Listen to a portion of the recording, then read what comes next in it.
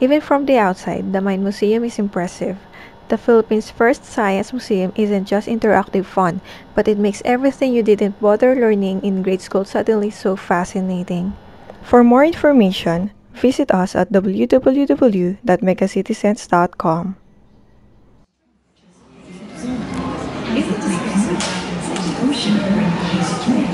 chemical and densities and of Gracias.